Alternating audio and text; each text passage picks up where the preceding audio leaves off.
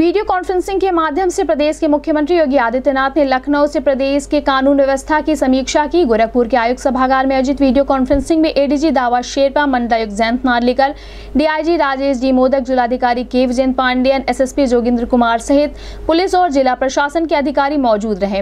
Video conferencing के माध्यम से मुख्यमंत्री योगी आदित्यनाथ ने किसान आंदोलन को देखते हुए संबंधित अधिकारियों को निर्देशित किया कि किसानों से वार्ता कर उनकी समस्याओं को सुना जाए तथा कहीं भी कोई अप्रिय स्थिति न उत्पन्न होने पाए, इसके लिए अपनी तैयारियाँ पूरी कर लें और कानून व्यवस्था को बेहतर बनाकर रखें।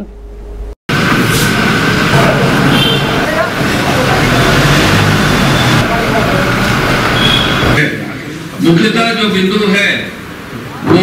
दो फ्रंट्स पर है। नोएडा बॉर्डर पर हमारे किसान बैठे हुए हैं। उनके साथ जो पूरा एक कार्यक्रम और जो उन्होंने अपना जो एक सो प्लान बनाया है संवाद बनाकर हमारे बॉर्डर्स पर, हमारे प्रदेश के अंदर कहीं भी किसी तरह की कठिनाई ना आए जो पूरा, मेरा जो जोन है, पूरा जो बरेली, जो पूरा जोन है, ये जो पूरा मूवमेंट वेस्टर्न यूपी का है,